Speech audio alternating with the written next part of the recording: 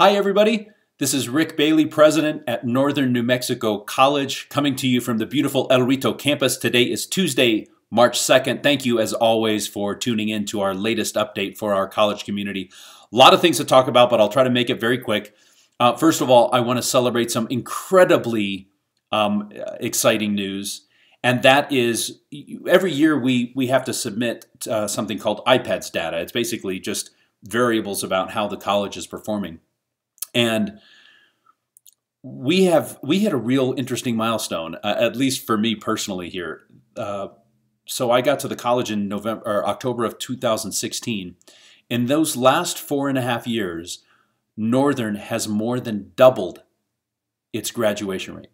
Let me let me say that again. We have more than doubled our graduation rate over the last four years. Now, granted, that is that's a that's a variable. It doesn't look at every single student. It's very specific in its data, but I, that tells you something about how dramatically we have made improvements in this area. Now, what what explains this? First of all, the resilience of our students and the and the amazing work they do, no matter what the obstacles that they are committed to getting to the finish line. Second, the caliber of our faculty and staff. And by that, I don't mean just their their technical expertise.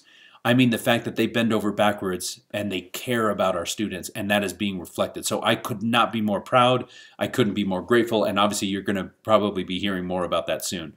So uh, to take in four and a half years and double your graduation rate is just amazing. Absolutely amazing. So congratulations. And the best is yet to come, right? That, that trend continues. Um, we are now doing twice a week vaccinations.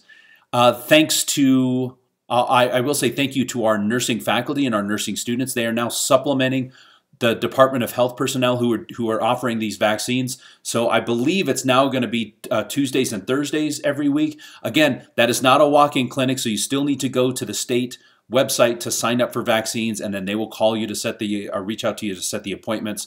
Uh, if you need to know where that website is, go to our website at nnmc.edu, and there's a link to that vaccination. I think it's also on both of our marquees on both of our campuses.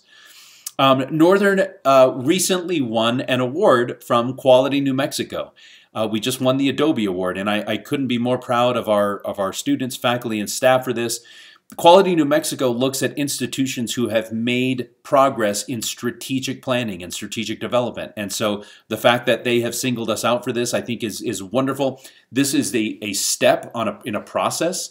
Uh, so there will be other steps down the road as we continue to refine our strategic direction. Uh, but I'm very, very proud of the work that we've done. So congratulations to everyone at Northern for that amazing award. And, and there will be more uh, details coming out about that. Uh, the next two things I want to talk about facilities needs and campus beautification. And you know, at some point we're going to start to move back and phase back into a more on uh, a physical on-campus presence. And and before we do that, I want to make sure that we know everything that still needs to be addressed in terms of facilities. Um, are there uh, are there things that need to be touched up? Are there things that need to be repaired? Are I we very soon you will probably be seeing a request, uh, either a form or a survey or something that you can fill out to tell us, hey, in my office, here are some things that I think need to be addressed.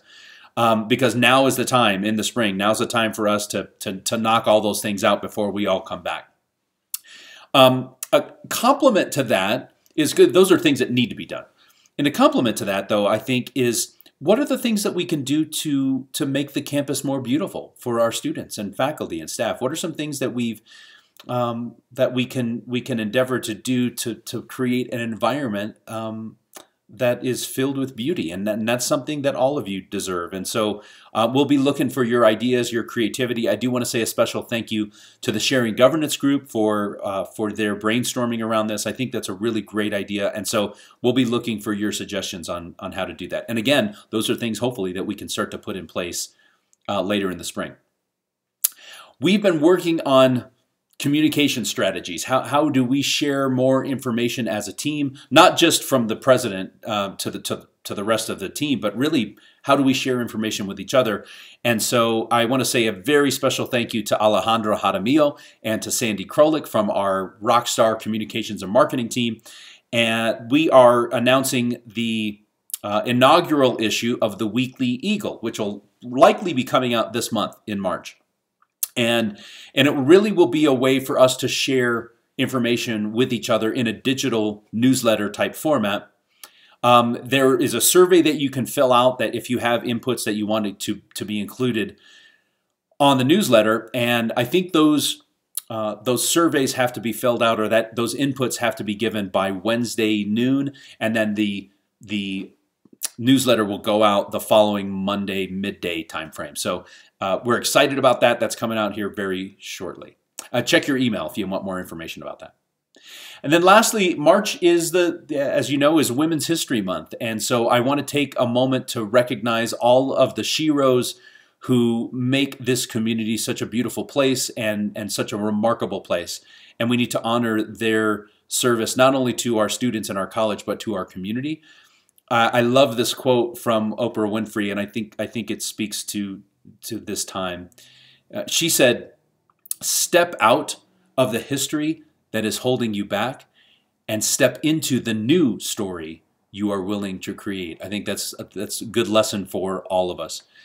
Uh, la- lastly, let me let me say this, and I don't say it enough. Um, it, this has been the greatest honor of my life, serving the, the chance to serve as as president of Northern New Mexico College, and I, I don't say it enough, but I don't take that for granted. The, the the ability to serve our students, faculty, and staff is a blessing, and and one I am for which I am incredibly grateful. So thank you for for allowing me to serve in this capacity. Um, it's it's a it's a very special blessing in my life.